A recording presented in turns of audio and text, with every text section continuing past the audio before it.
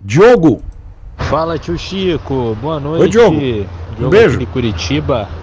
Tio Chico, primeiramente queria agradecer ao senhor pelo conteúdo novamente. E eu escuto ele sempre que eu tô voltando pra casa, tá? No período aí. E tio Chico, eu tenho uma pergunta para fazer pro senhor. É, eu queria comprar a questão ali da, da Phaser 250, né? E no período aí de, de um ano, né? Fazer igual o senhor me, me recomendou. E guardar o dinheiro e tudo mais, né? Já tá investido, claro. E guardar nesse prazo ali e comprar no primeiro semestre do ano que vem. É, porém, eu vi a questão das ONTs, correto? E eu me apaixonei pela R310, tio Chico. Eu achei ela uma moto muito bonita, vi o- os vídeos né, dela, referente a ela. E achei uma moto excelente, né? A mecânica dela, tudo ali, eu achei muito boa. E como é uma moto que eu pretendo ficar muito tempo com ela, eu achei interessante a moto. Porém, aqui em Curitiba, certo? Eu não é, eu não me recordo ao certo qual que é a, marca que vai estar vendendo ela. Não sei se é Suzuki. É, eu não, não me recordo de cabeça assim, tá? Porém, eu queria saber do senhor, no caso, a, a questão de, vamos supor, daqui um ano, né? Como você acha que as ONTs é, vai estar, correto? Porque como eu vou comprar a moto daqui um ano, correto? Eu quero, né? Eu tenho o pensamento de que vai ser uma moto boa daqui um ano, não vai estar tão cara e tudo mais. E eu gostaria de saber se o senhor se acha que vale a pena, né?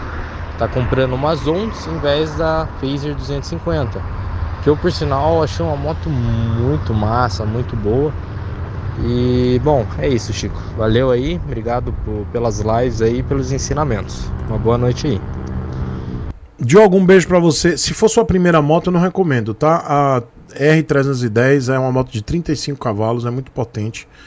É a minha opinião, tá? Tem gente que não concorda comigo, acho que eu sou muito conservador, que não tem problema nenhum. Ah, porque lá nos Estados Unidos o cara começa com a moto X, cara. Estados Unidos, os caras pequenos lá, as crianças começam com a moto 125 que não custa nada lá pros caras, entendeu? É tipo mobilete, é outra circunstância, é outra condição financeira, é outra educação de trânsito. Lá você tem, tem lugares que nem, nem semáforo tem, os caras botam as placas lá de pare, as pessoas respeitam. É diferente. É diferente. Lá tem uma cultura de trânsito completamente distinta da gente aqui no Brasil.